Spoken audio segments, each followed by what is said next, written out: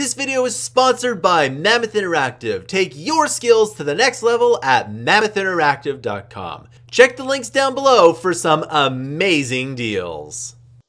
Hey everybody, welcome to this tutorial. In this tutorial, I'm going to show you how to attach something to something else uh, in the Unreal Engine. Now there's of course multiple ways of doing this, but this is going to be a very quick and easy tutorial, and it's kind of a bit of fun, and it's, well, frankly important. So let's go ahead and let's hop into our uh, content, first person blueprints, blueprints, and then we're going to go into the first person projectile here, okay?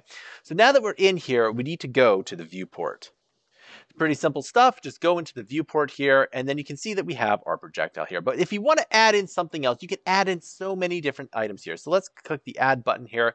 And for example, you can add in a cube, a cylinder, a cone, but we want to add in a mesh. Specifically, we want to add in a static mesh, right? There's different kinds of meshes you can add in here, but you can also add in particles here, which will probably um, you can add a particle system, which we'll do in another video. But for now, let's add in the static mesh here. And right now, we don't have anything in the static mesh, so you can pretty much pick whatever you want.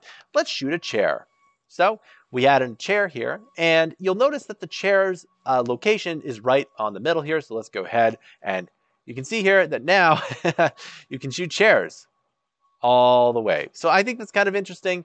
Um, but nevertheless, let's take a quick look here.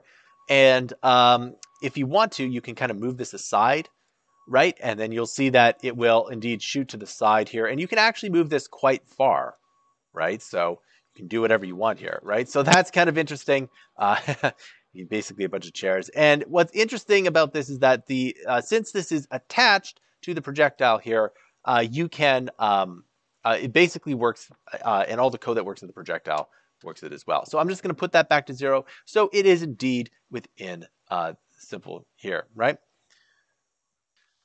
So there you have it. It is a very easy way to attach something to something else. Thanks for watching and I'll see you in another video.